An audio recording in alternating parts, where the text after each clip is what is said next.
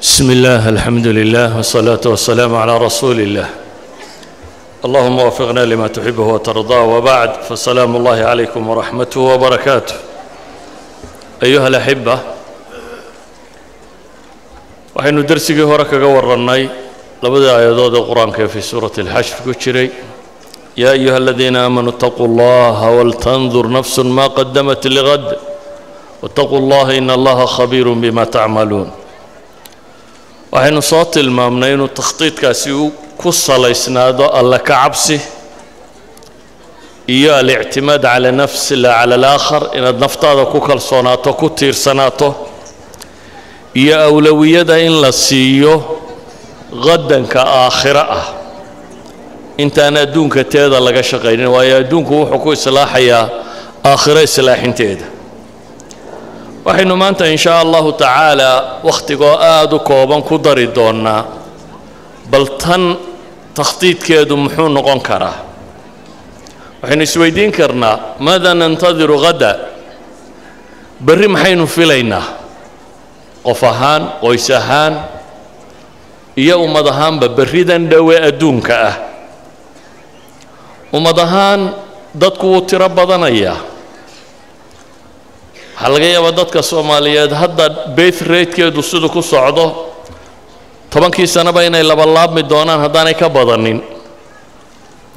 Su'aasha isweydiinta le waxay tahay toban sano kadib xaggee buu mustaqbalkeennu joogaya hadday tahay majaalka waxbarasho oo maanta dunida cilmigu huwa asilaaxu waaliqtisaad cilmigu maanta dunida isagaa hubna ah dhaqaalana ah.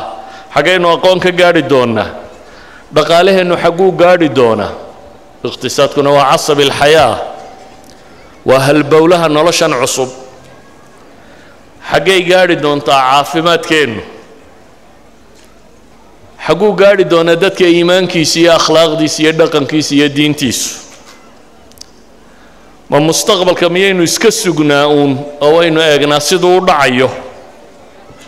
Oo nantadir ilmajhuul waxaynan garanayn baynu sugnaa. Mise qof ahaan iyo qoys ahaan iyo qaran ahaanba qorshaynu leenahay. Ummaddeenna waxaa caana sanad daadad bayna qaada oo waxaynu ururinaa kharashka dadkii daadku qaaday sanadka ku xigana abaar bayna qaada oo waxaynu ururinaa kharashkii dadka abaartu ku dhacday. Ilaa iyo weligeen misaasaynu ku jiraynaa. Waa saxiix nolosha waa imtixaan yowma casal wa yowm basal. Laakiin wax khutaa ama takhtiita ma leenahay aynu kaga gudubno asimaadkan taagan ugu horrayn ayuha alaxiba waxaynu isku waafaqsannahay. Alakhdu bilasbaab inuu waajib sharciyayey inaad sugin uun oo odhan qadarkaaynu eegaynaa wuxuu noqdo eh. Inay waajib kugu tahay inaad samayso asbaabta sharciga wixii aad awooddo masaajidkii nebiga calayhi salaatu wasalaam baa nin yimi. Dabeetana wuxuu ku yidhi ilaahay rasuulkiisiiyow ursulu naaqatii waa tawakal neefkayga geela ama sii daaya oo ilaahay ma u tala saartaa nebigu ku yidhi icqilha wa tawakal waar neefkaaga intaad dabarto ilaahay u tala saaro xadiidka imaamu nasaa'i iyo tirmidi baa warinaya sheekh albaanina saxiixi ligayri buu ku sheegaya siiradii nebiga o dhan calayhi salaatu wasalaam baynu ka arkaynaa takhdiidkaasi waana kii nebigu inoo tilmaamay calayhi salaatu wasalaam laa yuldaqu lmu'minu min juxrin maratayn qofka mu'minkaa inaan god laba jeer laga wada qaniinin asma hadday shalay ku soo martay berri inaad u fakerto o u qaabayso si aad uga tallaabi lahayd. Ee aanay haddana berrina kugu soo noqonin. Waa sax oo ummadda lama niyad jabiyo lama quusgeliyo oo nebigu calayhi salaatu wasalaam wakhtiyaday ugu adkayd saxaabada ayuu bishaaraadka ugu badan sheegi jiray. Laakiin camal baa loo baahan yahay si aynu mustaqbalka u waajahno. In allaha laa yugayiru ma biqowmin xataa yugayiruu ma bianfusihim. Mar kastoo waxaynu rabno inaynu qabanno muhimaddiisu ay weynaatana khudadka loo degaya iyo sida looga fakerayaa waa inay ballaadhaan. Ilaahay baa subxaana wa tacaala qoro ku ceebeeyo ku eedeeyey inaanay diyaargarow u samaynin wixii laga rabay. Walow araaduu lkhuruuja laa cadduu lahu cudda baa ilaah yidhi. Niman munaafiqiina rabbi wuxuu leeyahay haddii ay dhab tahay inay doonayeen inay jihaad u baxaan laa cadduu lahu cudda baa ilaahay yidhi. Way u diyaargaroobi lahaayeen waxbay u diyaarsan lahaayeen. Idan waxaa ilaahay inoo tilmaamaya subxaanahu wa tacaala waxa ummade ay rabto inay qabato inay u diyaargarowdo waa ilaa inay ceebaysan tahay saa awgeed baa alla subxaana wa tacaala qur-aanka wuxuu ku tilmaamayaa waacidduu lahu ma staطactum min quwa wa min ribaati اlkhayl turhibuuna bihi caduwa allahi wa caduwakum u diyaariya wixii awoodaan yacni jihaadka u diyaarsada wixii awood ah nooc kastaba ha noqotee idinkoo turhibuuna bihi caduwa allahi wa caduwakum. Idinkoo radcinaya cabsi gelinayo aanay idinku soo dhiiranaynin kuwa idin cadowga ahay diyaargarowgaa bay culammadu yidhahdaan waxay keensanaysaa kow inaad ogaato tamartaadu intay leegtay macluumaadkaasi inaad hesho laba cadowgaaga ma inaad macluuma ka haysa itaalkiisu intuu leegiyey. Inaad garan karto cadowgaagu mustaqbalka halkuu u socdo iyo awooddiisa waxa ku soo biiri kara si aad uga sii gaashaamato waa inuu noqdaa waxaad diyaarsanaysaa liradc wax dhiiri gelin kara inaan lagugu soo degdegin.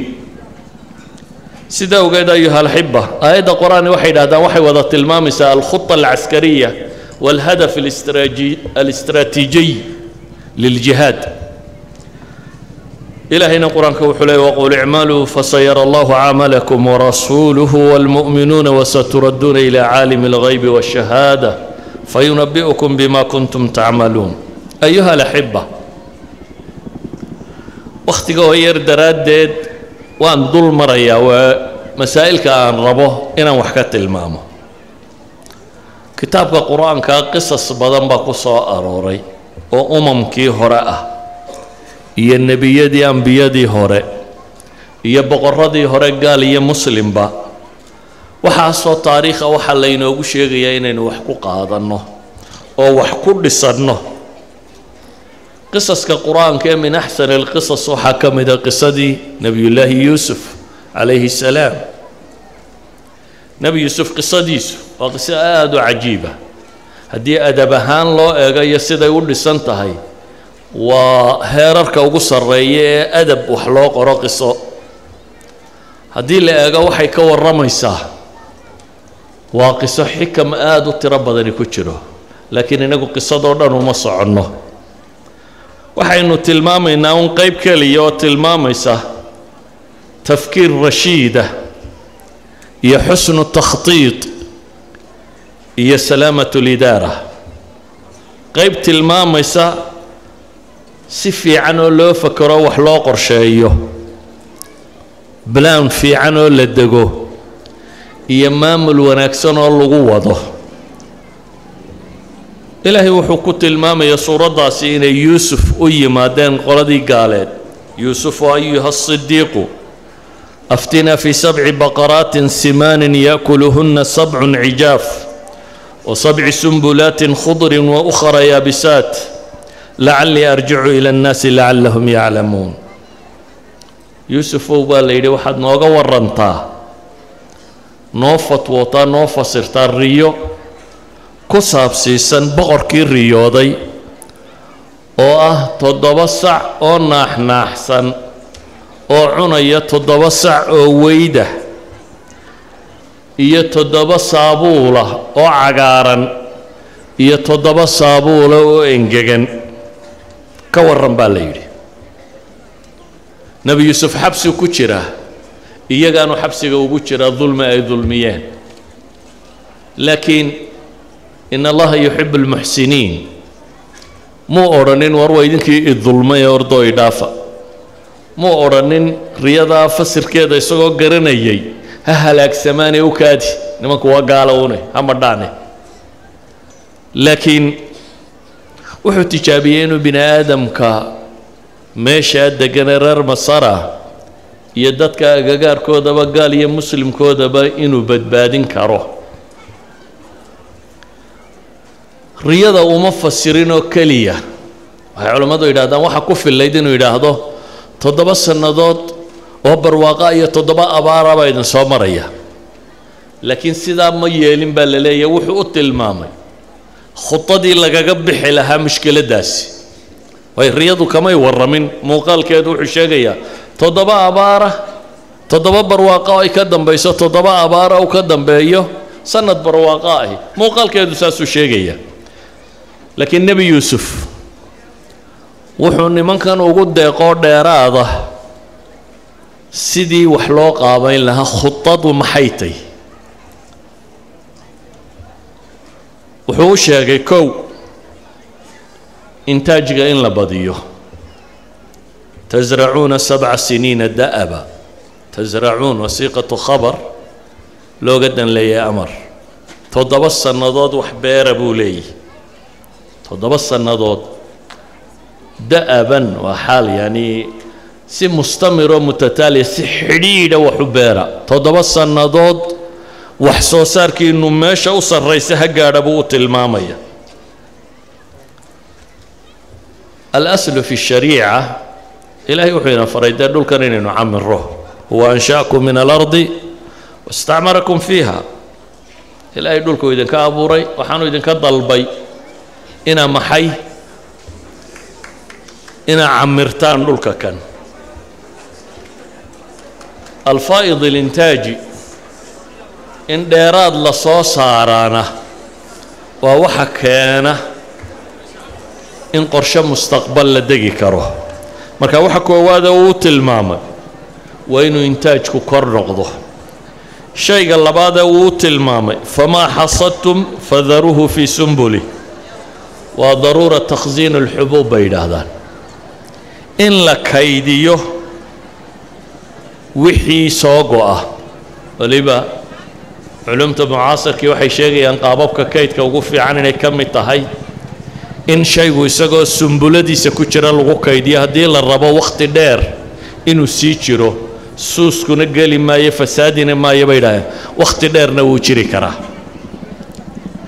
ولبتاني وحي تلمامي سابايدا هدين نوع وحل بيري ينو تلمامي يا شيغ سنة بشك بحا. يعني إنو حبوب نغضو.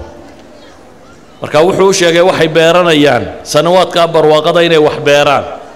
Waxa uu tilmaamaya waxay beerayaan inuu midho noqdo. Waxa uu tilmaamayaa sida midhaha loo idikhaarinayo. Waxay dhahdaan maanta thirty bercent wax ku dhodhow ayaa kaydintiiyo rarka ku luma bay yidhaahdaan intaajka dadku ay soo saaraan. Marka wuxuu u sheegayaa idikhaarkoodu sidii uu hagaagi lahaa ee fasaadka uga baxsan lahaa ثالث الأمر خطط يوسف waxay tilmaamaysaa qodobkeeda saddexaad tarshiid الاستهلاك وعدم الإسراaf waxa la cunayo in si quman loo cuno wax dadka ku filan oo aan israaf la samaynin bale inta ugu badan in la idikhaarin karo ama la kaydin karo fi shariica waxaynu naqaanaa nolosha caadiga ah inaan israafku bannaanayn xoola saydhku inaanu bannaanayn. Laakiin markay duruufaadka sacbigii soo socdaanna way ka sii adagtay markaasi mas'alada tani. Ilaa qaliila mima ta'kuluun buu tilmaamaya. Israafkuna sharciga wax walba kuma bannaanaba. Cabdillaahi ibnu camar ibnu alcaas baa wuxuu sheegayaa xadiid imaamu axmed iyo ibnu maaja warinayaan. Sheekh ilalbaanina xasan uu ku tilmaamayo. Waa axaadiidta uu taraajucaadka sameeyey laakiin akhiiran inuu xasan yuu ku tegey waxa uu sheegayaa sacad oo weysaysanayuu soo maray nebigu calayhi salaatu wasalaam. Dabeetana wuxuu yidhi maa haada sarfi ya sacad? Waa maxay biyahan aad qubaysaa aad daadinaysaa sacadow markaasuu yidhi afi lwaduu'i sarafun ilaahay rasuulkiisiiyo ma ayaa israaf ku jira? Qaala nacam wain kunta calaa nahrin jaarin buu nebigu yidhi calayhi salaatu wasalaam. Haayo wuu ku jiraa xataa haddaad webi dareeraya dhinac socoto waayo waxaa la rabaa qofka muslimka ahi inuu tarbiyada qaato. Tarbiyadu waa suluuk lagu celceliyo si ay caado kuugu noqoto. Haddaad markaad biyaha badan haysato qubto oo saydhsaydho macnaheedu waxa weeyaan hadhowna lagama aamin aha adigoo aan kugu fila inaad si isticmaasho. Shareecada markaa israafku sidiisaba ma bannaana. Dunida maanta dadka jooga nuduray ka cabanayaan waxay leeyihiin dadkii baa batay cunnada dunidu kuma filla waxani kuma filla. Ma aha ku filaanshiyo waa ku filan tahaye. Waa suu'u tawsiici walistihlaak bay yidhaahdaan. Waa qaabka dadka wax loogu qaybiyey oo aan cadaalad ku salaysnayn iyo istihlaagga maalan waxay idhaahdaan halka nin ee maraykanku sagaashan qof in ka badan oo afrika ah buu dabka isticmaalaa sagaashan qof oo afrika jooga dabka isticmaalaan electricitygay u baahan yihiin ayuu nin maraykani keligii isticmaala. Marka waxay leeyihiin waa israaf iyo tabdiir iyo suu'u tawsiice. Ma aha inaan dhulka waxa dul saaran ku filayn. Dhulka waxa dul saaran inay dadka ku filan yihiin ilaahay baa sheegoo leh wabaaraka fiiha waqadara fiiha aqwaataha. Walaqad makannaakum fi lardi wajacalna lakum fiiha macaayish. Qaliila ma tashkuruun. Wamaa min daabbatin fi lardi ilaa cala allahi risquha waxaa dhulka saarani dadka wuu ka badan yihi kullamaa waxay dhibi ka timaadamana ilaahay aqoon cusub buu dadka u furaa. Dabeetana dee shalay hegtarka intii dade uu quudin jiray maanta intuu quudiyaa bale maanta waxaa la marayaa in bilaa ciid iyadoo aan ciidiba jirin in wax la beeri karo. Iyadoo aan ciid iyo dhulba lagu ridin. Hawadaa sare iyo biyo in lagu beeri karo beertu ay bixi karto ayaa maanta technolojiga dunidu maraya. Marka siyaasaddan ah dadka in la gaajaysiiya waa siyaasa caalamiya. Waa jawic kalbak yatabicak eygaaga gaajaysii bay yidhaahdaan carabtu ha ku dabagalee dunida rag baa u qorsheeya in dadka la gaajaysiiyo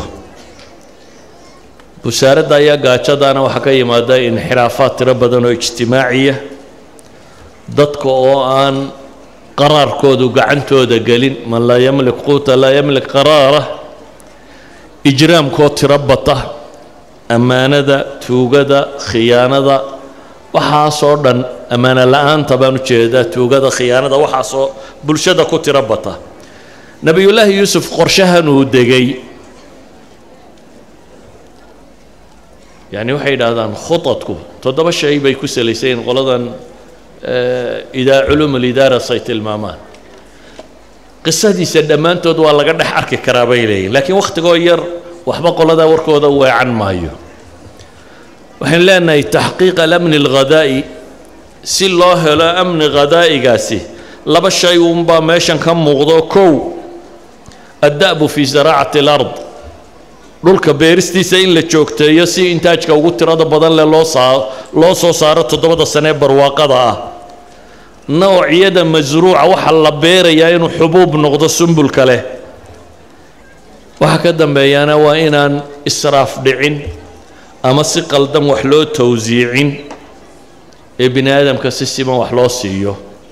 Waana ka nusuusta qur'aanka ee suuraddu tilmaamayaan. Ximlu baciir in cid kasta la siin jiray. Oo ilma yacquub. Waa kale haddaanu wiil uu noo kordho waxaa noo soo kordhaya inaannu awr dheeraada soo qaadanno laakiin maanta dadka dunida nooli waxay leeyihiin si arsaaqdu idinku filaato dhasha ha la yareeyo. Dhasha waxyaabaha lagu yaraynayana waxaa ka mid ah xuquuqda jandarkee la sheegayo. Nin ka mid a qolada cadcad oo dood gelayay wuxuu tilmaamay qola ka hadashay raggaa ragga iyo dumarkaa dumarka qurunqadhaadhkoodaasi markaasu wuxuu yidhi waxaan rabaa un inay ii sheegtaan waddankan kan lixdankane sanee soo socda. Waa canada. Lixdanka sanee soo socda cidda ugu tala gasheen inay degto. Khitadiinna haddaynu raacno natiijadeedu waa inaan wax la dhalaynin lixdan sanee soo socda kadibna dadkani wuu madhan doonaa hadda jooga. Marka waxay ii sheegtaan buu leeyahy un ku dara khudada waddanka ayaynu siinaa. Raggana ragga ku dara dumarkana dumar ku dara laakiin waxaa sheegtaan sittiin sana markaynu dhaafno kanada cidda la siinayana qorshihiina ha ka muuqata buu leeyahy kamuu dhigin nebi yuusuf qorshaha taxdiidu nasal si cunnadu dadku ugu fillaato waxba ha dhalina. Afar iyo tobanka sanee soo socda. Si cunnadu idinku fillaatee wuxuu tilmaamay sidii looga bixi lahay khudadatan ay u dhici lahayd ayuha alaxiba waxay yidhaahdaan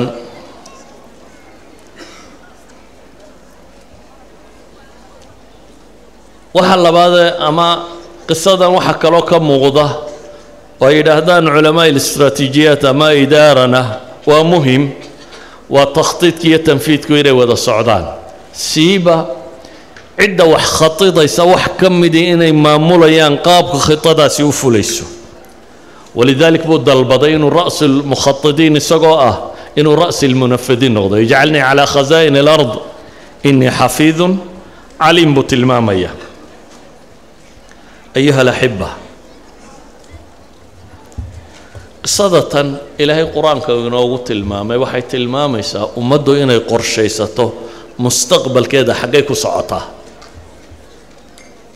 azamaadku dunida waa ka dhacaan roob la-ani waa dhacdaa abaari waa dhacdaa barwaaqa waa dhacdaa laakiin adaa lagaaga baahan yahay sidaad intaba u noolaan kari lahayd ummadaadu ay u jiri kari lahayd dunidaynu maanta joognaana duni laysu naxariista maaha. Tusaalayaal baa malaa dadka ku habboon in la siiyo. Tusaalayaal kooban baan tilmaamaya. Waxaa dadka badh inay yidhaahdaan dee dunidu maanta kala tagtayo wakhti layse soo gaadho lama joogo waxba kama jiraan. Waddanno a wada taqaaniin. Singabore maxay ahayd? Wakhtigaynu inagu xornimada qaadannay taiwan maxay ahayd wakhtigaynu xornimada qaadannay? Malaysiya maxay ahayd wakhtigaynu xornimada qaadannay? Turkigu muxuu ahaa waddannadaasoo dhammi maanta waxaa laga yaabaa in la leeyahay dhaqaalaha dunida ama technolojiga dunida ama horumarka dunida meel saray kaga jiraan. Maxay u dhacda waxaan leenahay waxaa ka mid ah waxyaabaha keena inay dadku guulaystaan bay yidhaahdaan oo khudadka istraatiijiga ee la dego waxaa ka mida kow zamanka inay dadku ka faa'iideeyaan oo la ilaaliyo. Cadama hadri lwaqt hadafku inuu xadidan yahay meesha loo socdo in la garanayo. Wasaa-isha lagu gaadhaya in la tafsiiliyo la garto hadafkaa wasiilada kuu geynaysa. Mawaariddaad haysato dhammaantood inaad isku daydo inaad ka faa'iidaysato. Yacni harawaadka waxa ummaddu ay leeday ama dhul ha kor saaraado ama hoos ha ku jiro ama bad ha ku jiro ama dadka ha ku jiriyo aqoontiisa. Waxaa kaloo ka mida bay idhaahdaan athiqatu binafs dadku inuu kalsooni naftiisa ku qabo oo ay tahay tusaalaan bixinaya. Maanta waddan yaroo taiwan la yidhaahdaa maqlaysaan oo labada dowladood ee dunida maanta ugu dhaqaalaa badan isku hayaan. China iyo maraykan baa isku haya. Taiwan maxaa la ysugu hayaa maxaa laga rabaa? Maxaa maraykanku uu leeyaha aan ilaaliyo? Taiwan lixdanaadkii horta taiwan waddanka la yidhaahdaa sidiisaba waa markii hawraddu ay ka dhacday china. Qoladii boqortooyadee la riday ayaa carartay. Waddanka intii kale mawtistan iyo kooxihiisiibaa qabsaday qoladanaa soo baxsatay oo jasiiraddan yar degtay. Marka waa maamulkii waddanka jayne boqortooyadii ka talin jirtay iyo wixii raacay baa soo baxsaday oo halkan degay. Jina waddan shuuciya buu ahaa waa loo diiday united nationka taiwan kaa yar bay ku dareen united nationka labaataneeyo sano ayay kursiga jiniiska iyadu ku fadhiday. Waxaanay dhaqaalaheedu ahaa lixdanaadkii waxaa lagu tilmaamaa dhaqaalaheedu boqol iyo toddobaatan dollar buu qofku yacni marka la eego g d b-ga waddanka boqol iyo toddobaatan dollar buu qofkiiba ku soo hagaagaya yacnii dhul beerelaya oo aan waxba ka jirin bay ahayd oo daciif ah. Maraykan baa wuxuu go'aansaday waddankan tirada yar lee dhowr iyo labaatanka milyana iyo dadkan bilyanka iyo badhka bini aadama inaanu isku doorsanin warshadihiisa iyo dhaqaalahooda iyo waxaan inay suuq u baahan yihiin inuu jayno la heshiiyo. Isagu maslaxaddiisuu ka hadlayaa taiwan buu ka soo tuuray united nationka iyo jainuu geliyey 1970 mise 71 somewhat like that ayaa china la siiyey kursigii united nationka taiwanna dabaddaa loo soo tuuray. Taiwan markaa waxay noqotay waddan yar oo aan dunida cidi ictiraafsanayn laba saddex dowladood oo hoos kala dhaqmo mooyaane oo aan united nationka ka tirsanayn oo aan ururada iyo duwaligaa geli karaynin oo muctaraf ba jaynihii weynaa baa la ictiraafay taiwan dadkeedii markaa way fakereen waxay idhaahdeen see baynu loolanka dunida uga qayb geli karaynaa innagoo aan dowlad muctarafaba ahayna cidlo fadhina. Waxay idhahdeen adduunku wuxuu ku horumara waa technology. Bal aan xagga technologyga u kacno weliba aan u kacna bay idhahdeen xagga silicon family jibiska daqiiqa ah raqaa'iqi daqiiqa. 1973 ayaa waxay fureen macdan la yidhaahdo i t r i oo wixii silicon valleyga lagu hayay bal inay baran karaan. Saddex sano kadib 1976 bay arday aada u badan waxay u direen siduu ashraf sheegayo waxay u direen waddanka maraykanka si ay aqoontaasi aqoonta jibka daqiiqa ah ku saabsan inay soo bartaan. Taiwan ninkii madaxda ka ahaa waxay ku qanceen. War culammada taiwaniiska ee dunida ku noolee dabadda jira. Aan soo celino waddanka. Oo dee waddan yaroo beeralayaynoo lacag badanna ma haysanee si ay kuwaasi u soo noqonayaan. Waxay u baahan yihiin baynu siinaynaa. Imtiyaazaad halkaa wixii aad ku haysateen wax ka badan ayaanu waddankaaga kugu siinaynaa waddankaaga u shaqee baa la yidhi. Marka khubaro badan oo ay leeyihiin oo dunida ku firiidhsanayd ayay aqbaleen ay dib soo qaadaan. Waxay haddana yidhaahdeen intanoo quri inuguma filla. Ee nin baa jira taiwanisoo khabiiree ninkaa ha la doono. Waxaa jira nin la yidhaahdo moris jang oo khubarada caalamka ugu waaweyne wakhtigaa joogtay ka mid ahaa isagoo markaa dhowriyo konton jira ay yidhaahdeen ninkaa waa in la doonaa ninka kani shan iyo labaatan sannadoodba wuxuu u shaqaynayey kambaniga caanka ee texas instruments la yidhaahdee maraykan. Oo technologyga daqiiqa kambaniyadii wakhtiga hogaaminayaya ninkaa ha la raadiye bay yidhaahdeen ninkaasi 1958 ilaa 1983 buu kambanigaa u shaqaynayey wax la muxaawaleeyaba waxa lagu qanciyey in waddanka la keeno. 1985 bay morris jang dib u keeneen morris jang wuxuu bilaabay muhandisiintii iyo wixii inuu tababaro. Wuxuu bilaabay inuu shirkad sameeyo 1987 shirkad la yidhaahdo t s m c.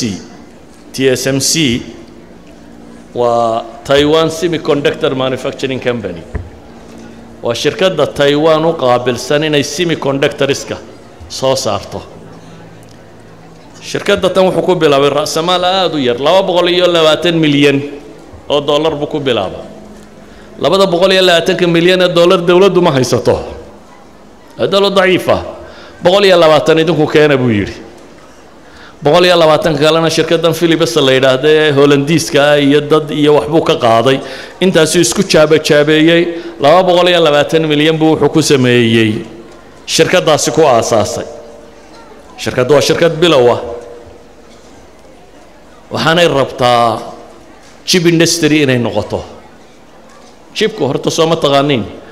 Waa maskaxa kanaynu ka hadlaynaa waa maskaxdan yar ee ka shaqaysiisa waxaan jiraba. Maanta waxaan electronicskee jira maskaxda yare ka shaqaysiisa ee processorska iyo wixii la nooca weeyaan kaasuu rabaa inuu soo saaro. Jibka in la soo saaraa laba farsamo ay leedahay. Farsamo waxaa la yidhahdaa tasmiim designing waa waxaanay ku tilmaamaan logical gates. Wuxuu ka samaysan yahay logical gates.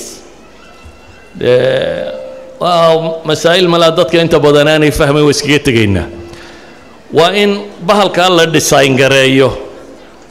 Designinku markaa waa cilmi sidiisa u taagan markay jibka joogto.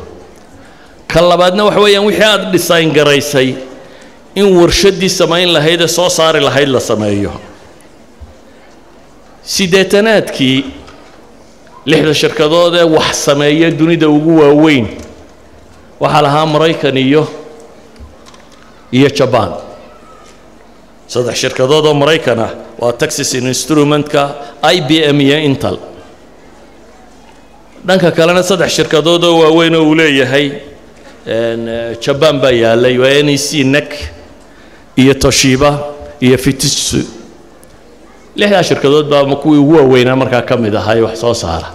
Laakiin dunida konton shirkadood baa jira oo tasmiimka sameeya. Warshado ma leh laakiin tasmiimka bahalkaa yar siduu shaqaynayo iyo horumarintiisa konton shirkadood oo ka shaqeeya baa jira. Shirkaadkii waaweynaa ee maraykan waxay ku xidheen markaa ciddii rabta in loo sameeyo hadda waa kuu samaynaynaa laakiin wixii ka dambeeya annaguna waa samaysan karnaa kaagii tasmiimkaagii marka dadkii meel kaloo samaysan mahayaan waxay ku qasbanaadeen. In maraykan sharikaadkiisa loo tago oo nin waliba design cusub oo aan dunida oolin intuu keeno uu u dhiibo oo loo sameeyo marka isaga u sameeyaanna ha dhownayana iska samaystaanoo suuqayana geliyaan. Morris jang wuxuu bilaabay bahalladii qadiimka ahaa horta inay sameeyaan si ay ugu tababartaan oo kuwaa hore ee baatinkoodu iska baaba'ay inay wadaan wuxuu kaloo bilaabay shirikaadka jadiidka ah inuu yidhaahdo shirkad waloo noo keento tasmiimkaaga waa kuu haynaynaa adigunbaa iska leh annaguna ma samaynayno waxaad adigu dalbatuun baanu kuu samaynaynaa. Marka waxay idhahdeen laba sifo ay yeesheen kafaa iyo ammaana bay isku heleen bay idhaahdaan inay dad farsamadan garayana yihiinoo wixii samayn karaya iyo dad ammaano leh oo wixii nimankan u haynaya. Taasi waxay keentay sharikaadkii dunida ee qoladaasi sandullaysatay inay xaggan u soo weecdaan. Ninkan waxoodiina u haynaya waxna u samaynaya dhankiisa inay la bilaabaan. Bal eh maal markay xoolaysatay horumar weyn bay waxay ku sameeyeen shirkaddoodii ilaa iyo zabaa'intoodii ay ka mid noqdeen xataa kuwii samaynayay intal iyo maxaa la yidhaahdaa texas instrument iyo shirikaad waaweyn motorola iyo kuwaasay jibiskooda soo saareen. Markuu warshadda sameeyey saddex iyo toban sannadood kadib jibka dunida boqolkiiba lix iyo soddon taiwan baa soo saari jirtay shirkadda. two thousand eight markii la gaadhay waa koob iyo labaatan sannadood kadib fifty one percent bay soo saarayeen jibka dunida lagu sameeyo oo dhan taasi waxay keensatay. Shirikaad waaweyn wax samayn jiray markii dambe inay iskaba daayeen wax samaynta oo ay designka ku soo hadhaan dabeetana ay iyaga maadaama ay ammaano leeyiin yidhaahdaan bahalkan warshadahan kulfadoodu tiro badan tahay. Halka warsho dhowr iyo toban bilyan baa lagu dhisaa markan dambe. Halka warsho intaad dhisi lahayd waxa kan qolada tan maa siisaan ha sameeyaane shirkaadka waaweyn iska daaya waxaa ka mid ah a m d oo kale. 2009 kii bay joojisay tasniicii tasmiim bay ku hadhay. Nimankii way wadeen. Waxay gaadhsiiyeen raqaa'iqda noocan dunida oolin ama dunida kale samayn kara inay sameeyaan. Five nano nanometer. That means intal iyo weli seven nano ma sameeyaan. Si ay u fahamtaan nanometerkan aynu sheegayna waa hal bilyan mitirka marka loo qaybiyo hal bilyan midkii shan ka mid ah ay processorskooda noociyadkaasi ku samaynayaan. Si kale haddaan u tilmaamo mar kastoo nanometerku uu hoos u sii dhaco bahalka sbiidkiisa wuu kordhayaa baawarkuu cunayaana wuu yaraanayaa. Waana dee waxa la rabo. In shaygiina uu soo yaraado power consumptionkiina dabkii uu kaa cunayana inuu yaraado. Horta si ay u fahamtaan waxaan dunida nimanka faanayoo dhamm ay haystaan waxan bay ku shaqeeyaan gantaalka cirka loo dirayo satellaytyada samada jooga dayaaradaha iyo hubkan waaweyn wax allaaliyo wax gawaadhidan maanta dunida joogto oo dhan waxaan mobile la sito oo dhan waxoo dhammi bahalkan yar bay ku shaqeeyaan marka waxa weeyaan dunida maanta waxa electronic joogoo dhammi processor bay u baahan yihiin. Lagama maarmo processorkaasina mar kasta uu sii horu maraba dee cajabtiisaa badanaysaa maalan maraykanku maanta f thirty five buu sameeyaa dayurada f thirty five processorskay u baahantahay nimankan baa sameeya hadduu wuxuu ku qasbay. Khatar baa lagu jiraaye inay warshad ka dhisaan texas dhowr iyo toban bilyan ku kacaysa. Si kale markaan u tilmaamo waxay sameeyeen hadda boqol iyo lixdan kun oo mitir square meel ah warshad cusub ka samaynayaan oo ay five nanometerkii hoos uga sii dhacayaanoo tree nanometer inay hadda soo saaraan. Tree nanometer markay soo saaraan macnaheedu wax weeyaan kii five nanometerka ahaa boqolkiiba toddobaatan buu ka dheeraynayaa. seventy percent buu faster than that one yahay. Raqaa'iqda maanta mutaaxa ah intal baa weli seven la rafanaysa. Iyana intay five ka soo guuraan bay tree u guurayaan yay wax u samaysaa t t s m c. Waxay wax u samaysaa apple. Shirkaddan iphone-ka leh. Waxay wax u samaysaa navidia shirkaddana inta badan kombyuutarada ku aragtaan qalabka ku jira inay leedahay. Waxay wax u samaysaa qualcom shirkaddan brocessorada samaysata. Waxay wax u samaysaa marvel. Waxay wax u samaysaa broadcom. Waxay wax u samaysaa exlinix yacni waxay wax u samaysaa shirikaadka waaweyn ee dunida la sheego shirkadda qudhe gaarka isugu filan ee aan iyaga ku xidhnayn waa samsung ee iyaguna leh waxooda gaarka ah. Taa macnaheedu waxay sheegaysaa china twenty eight nano buu marayaa kuwanina tree bay marayaan. Tree iyo twenty eight baa la joogaa. That means wax isu dhow ma aha. Shirikaadkan waaweyn ee dunida jooga waxay yidhahdaan maraykanku hadduu is idhaahdo kuwan maanta dib u samayso ugu yaraan toban sannadood bay ku qaadanaysaa bay idhaahdaan china markay aragtay inaanay gaadhaynin waxay isku dayday inay xaddo muhadisiintii ay lahaayeen taiwan. Kumaan kun bay dee soo saartay. Boqol bay ka xadeen. Maxay siinayaan? Saddex laab mushaharkii taiwan ay bixin jirtaa china siinaysa. Laakiin dee halka warsho soddon kun oo injineer buu u baahan yahay hal warsho oo noocana inaad soo saartaa? Saddex kun oo injineer. Ayay u baahan tahay bay yidhaahdaan markaan warkaa soo duuduubo nimankani caqli bay invest gareeyeen dalkoodiina waxay u dhigeen khudo inay beeraleyda qura ka baxaan oo ay dunida hoggaamin karaan. Waxay yidhahdaan marka la yimaado xagga militariga taiwan laguma duuli kare bay yidhahdeen waayo haddii lagu duulo dunidaa dib u dhacaysa. Bal qiyaas adigu waddan yaroo la leeyahay haddii lagu duulo dunidao dhan baa dib u dhacaysa. Laa maraykan baan cirka wax badan u diraynin. Walaa imika markay asmada tani dhacday maalan gawaadhida dunidu nus bay hoos u dhacday in ku dhadhow bay leeyihiin wax waliba way qaaligaroobeen maxaa loo leeyahay karooniya wax waliba way qaaligaroobeen jaynkii ku saabsisnaa bahalka kan ayaa dhibi ku jirtaa jaynkii isku xidhnaayee dunida gaadhi lahaa baa yaraaday. Marka waxay yidhaahdaan waa silaaxu radci litaiwan bay u noqotay bay yidhaahdeen. Silaaxu radc hubkii ay naftooda ku ilaalinayeen waa jibkaa yar. Warhoy china dib baad u dhacaysaa haddaad i weerarto. Maraykana dib baad u dhacaysaa haddaad i weerarto. Dunida haddii weerarna lagu qaado dib baa u dhacaysaan. Waayo warshadoodaan cidina ka maarmin. Warshadooda yar ay meesha ku haystaan baan cidi ka maarmin dunida qolaba wax yar bay goosatay. Warshadani qalabka ay wax ku samayso iyana hal shirkadoo qura dunida leh. Msl shirkad holandiisa ayana leh. Waxay tani soo saarto qalabka wax lagu samaynayo taasoo qura samaysa. Maxaan uga dan leeyahay masaladan t s m c iyo taiwan haddaynu isnaa ka warramo muxaadaraad bay u baahan tahay. Laakiin waxaan uga dan leenahay beeraley bay ka yimaadeen. Laakiin qiyaadahan leh oo khutaloo meeli u muuqataa heshay.